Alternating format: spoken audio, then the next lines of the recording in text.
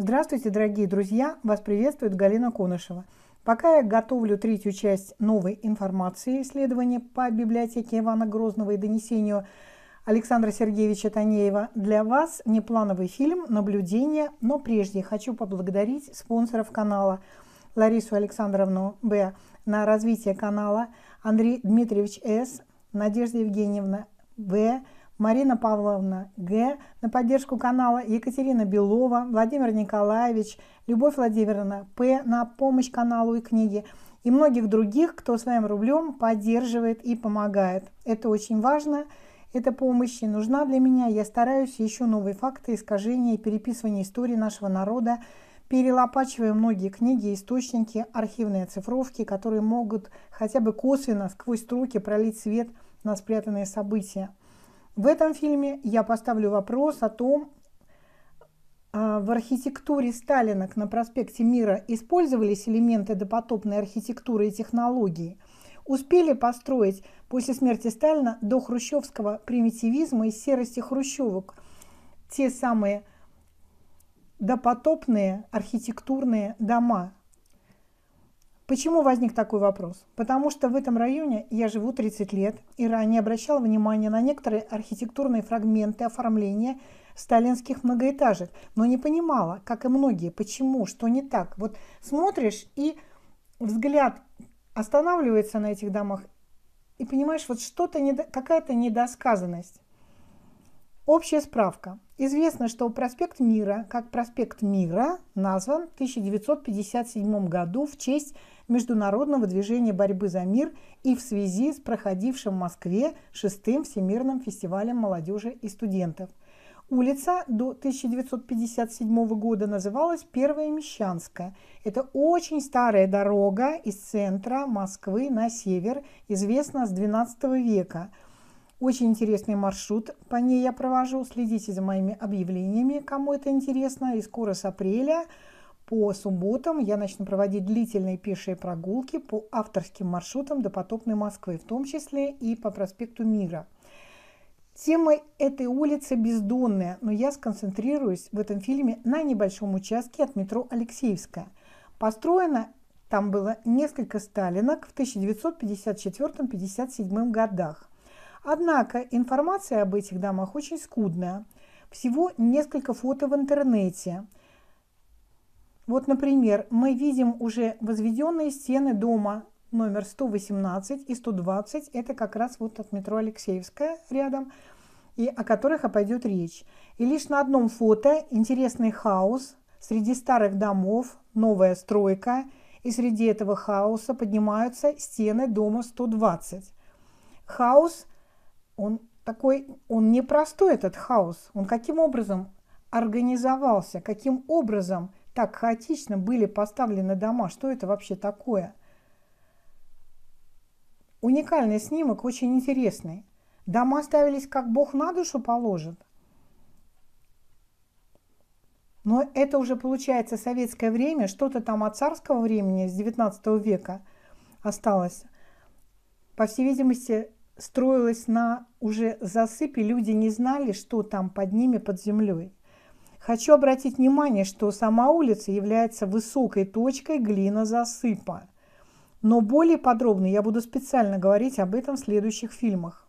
Я подготовила материал свой исследовательский – и вот от проспекта Мира в сторону старой водокачки Мытищинского водопровода, а это целый комплекс старинной промышленной архитектуры, которую капиталисты современные безжалостно сносят, осталось всего несколько зданий, а был целый квартал старинной качественной архитектуры, крепкой, крепких таких домов по обе стороны улицы. Это был такой вот кусочек старой Москвы.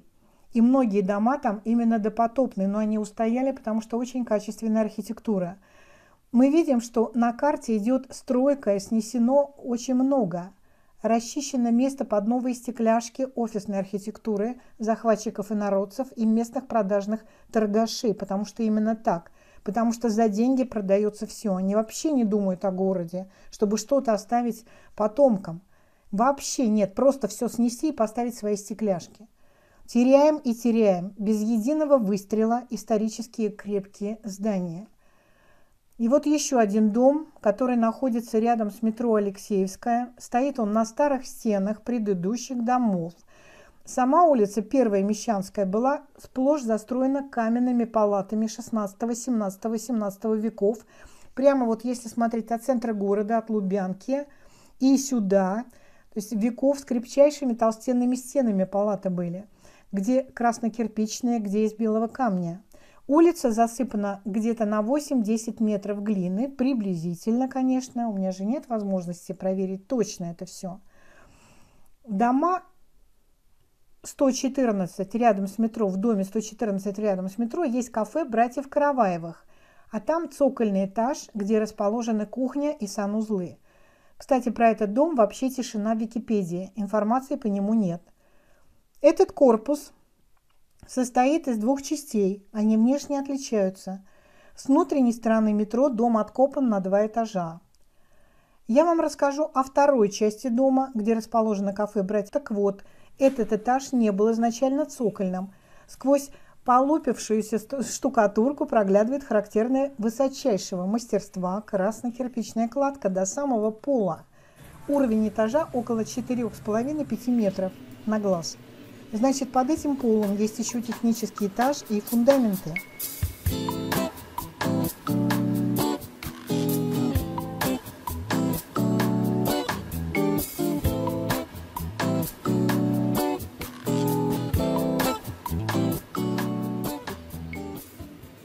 Переходим к следующим домам постройки 1954 года. Красивые сталинки – Высота этажа 3,2 метра, классика сталинская. И эти данные официальные от риэлторов. Информация о начале постройки котлована этого дома отсутствует. В интернете, повторяюсь, 3-4 фото с постройки и уже вот начатыми возведенными стенами. Да, я полагаю, их так и строили в 1954 году, 59 да, это, это дома этих построек, но что там были за фундаменты под глинозасыпом, под бараками и маленькими деревянными домиками. Эти дома 118 и 120 и такие же напротив имеют характерную особенность. Мы видим на первом этаже арочные проемы по всему фасаду. Они есть из боковых фасадов. Да, понятно, что это не осталось, ну я так полагаю, это не осталось после глинозасыпа. Это возведено в 50-х годах – даже уже после смерти Сталина, еще на автомате. Но какая здесь интересная особенность? Арки круглые. Обычно при сталинках, уже вот при сталинках, арочный свод не делали круглым. То есть начало арки, вход как бы он круглый, а дальше перекрытия идут горизонтальные на балках и, из железобетона. Потому что так уже было удобнее. Внешне на фасаде есть круглая арка, а сам переход он горизонтальный, плоский, прямоугольный. Потому что очень трудоемко делать красно-кирпичную кладку, круглую. Сам, сам, само перекрытие. В этом как бы нет смысла. Но в данном случае все подъезды, они выполнены именно круглыми арками, круглыми перекрытиями. Что там, красный кирпич? Из чего это сделано? Непонятно. Обычно только фасадная часть круглая. В этих домах арки перекрытия в подъездах везде круглые. Мало того, на них устроено украшение в виде розеток, раскрывающийся цветок, вид сверху. Как будто бы лепнина, все закрашено, будто бы лепнина. И мы так и думали, что это просто украшение лепнина. Но если мы присмотримся к ним, это же не украшение и не лепнина. Это закрашенные под лепнину Светильники, я полагаю, что они металлические, но нет возможности э, допрыгнуть, постучать, посмотреть э, визуально, вот физически потрогать руками, но на, на глаз и на тень, если мы посмотрим, тень тонкая, то есть это что-то тонкое. Тонкое это может быть только металл, то есть это металлические цветы. И металл, он более легкий, чем лепнина. Ну и зачем там э, лепить металл туда на потолки для украшения? Я полагаю, что это именно светильники. Проем двери подъезда укреплен железными балками по всему периметру. Дверь сама деревянная, старая, вот тех же 50-х годов. И все выкрашено в один темно-коричневый цвет. Входная дверь между двух небольшого диаметра колонн, также выкрашенных в один цвет. И можно было бы подумать, что это простое украшение. Но постучим по материалу и сравним дверь деревянная, а колонна металл. Зачем? Для поддержки верхней балки, на которой в тяжести лишь фрагмент арочного полукруглого окна, рама, она не тяжелая, для нее не нужна дополнительная опора. Для нее будет достаточно деревянной балки поперечной.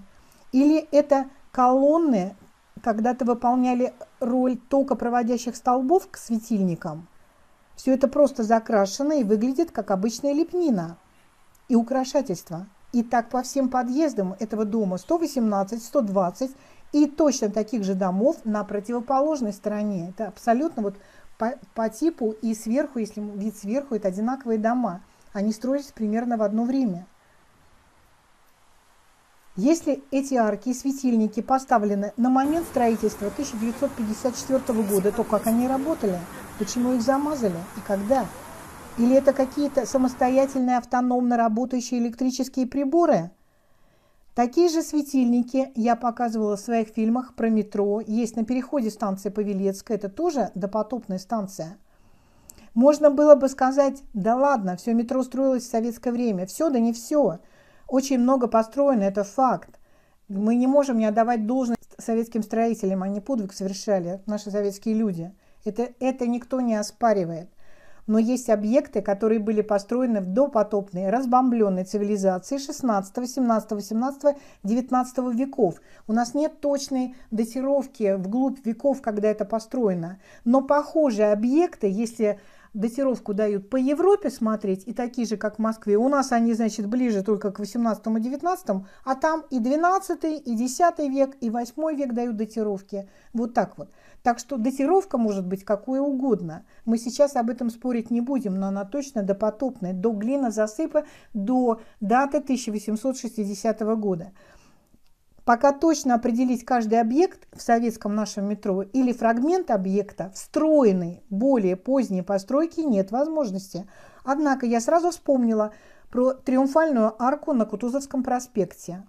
Кстати, также один из моих авторских маршрутов. Арка архитектора Ось Бове 1830-х годов. Она наводила на Кутузовском 1968 года, но абсолютно точная копия, один в один. Поэтому мы можем ее исследовать, так как там в своде арки похожая лепнина. Цветочки такие же раскрытые, вид сверху. И похожие закрашенные светильники под лепнину. Такие же светильники, закрашенные под лепнину, на многих усадьбах сохранились и в Москве, и в Санкт-Петербурге, и в Нижнем Новгороде. Это то, что видела я лично, исследовала. Я полагаю, что они сохранились и в других городах. Потому что где есть похожие усадьбы, просто обратите внимание в своих городах, кто живет. Если вы увидите круглые арочные своды и там вот такую лепнину, проверьте эту лепнину, попробуйте ее, так сказать, исследовать на ощупь, посмотреть, что это такое, постучать, если, если получится, если будет такая возможность. Да, еще надо сказать, что могут встретиться и чаще всего наверняка будут встречаться арки, которые уже после глобальной реставрации. И там будет действительно лепнина или карго-культ. А вот в Донском монастыре, Большом соборе, который по официальной версии возведен в 1698 году, является архитектурной доминантой, в Большом соборе Донского монастыря такие же украшения в виде розеток под высоченным куполом. Или это все те же светильники? Зачем в таком древнем храме эти розетки? Их оставили для красоты? Они не, на, не подходят под религиозную тематику, но они очень высоко, под куполом. Кто обратит внимание, кроме историков-альтернативщиков? И обратите внимание опять-таки на общую тему архитектурных деталей. Донской монастырь – это 17 век не сам Донской монастырь, а собор, Большой собор Донского монастыря, это конец 17 века. И там такие же розетки. Они встречаются у нас, получается, в 17 веке, в 18 веке, в 19 веке и даже в 20 веке. А арка Тита – это вообще Древний Рим, да? но там, если мы присмотримся, то там видны квадратные отверстия под этими розетками. Вопрос, зачем? Если это была просто лепнина, зачем эти квадратные отверстия, пустота? Все бы залепили и поставили бы эти розетки просто на голую, оштукатуренную поверхность самой арки. А там у нас виднеются квадратные отверстия. Очень похоже на то, что это были токопроводящие отверстия для светильников. Из чего я делаю выводы? Вернее, нахожу подтверждение того, что товарищ Сталин и архитекторы того времени повторяли античную архитектуру, старались ее воспроизвести владели техническими секретами допотопной цивилизации и под шумок от скрытых врагов сионистов, которые находились везде уже во власти, они всегда были, они полностью не были изобличены, они никуда не уходили, потому что они все время лезут, они, они как глисты, как лапы, как таракан, они лезут все время во власть. И вот сталинские архитекторы все-таки молча, тихо, не афишируя, воспроизводили эти технические средства до потопной цивилизации. Фрагменты в сталинском, том самом сталинском ампире, который был просто поперек горла тому же пришедшему на смену Хрущеву, который боролся с этим совсем, с излишествами. Он боролся с допотопной цивилизацией. Он боролся с историей. Поэтому Хрущев абсолютный враг. Его, кстати, мне иногда в комментариях пишут, что он просто такой дурачок, или иногда историки его выставляют дурачком, как и Горбачева дурачком. Нет, они не дурачки, они осознанные враги советской власти и советского народа. То, что Сталин знал о предыдущей цивилизации и восстанавливал ее, я неоднократно говорил в своих фильмах по античному Челябинску, по Сталинграду и даже по выставке ВДНХ. На сегодня все. Благодарю за внимание. Надеюсь, вам было интересно, познавательно. И надеюсь, что у вас возникнет новый азарт исследовать в, сво... в местах, где вы живете, своих дома арочные. Если что-то еще осталось, сохранилось, может быть, где-то есть заброшки, проверьте их, если там есть подобные арочные входы. Этого, конечно, очень мало уже осталось, но все-таки кое-где есть. Проверьте, это действительно лепнина или это металл, закрашенный под лепнину. Кстати, со двора этих домов сталинских, там они вполне закопыши, не вполне могли стоять на старых стенах. Делитесь этим видео. Благодарю за внимание. Всех вам благ. С вами была Галина Конышева. До свидания. А я готовлю третью часть фильма по истории по библиотеке Ивана Грозного, по письмам Танеева. Там будет очень интересный материал. Ждите.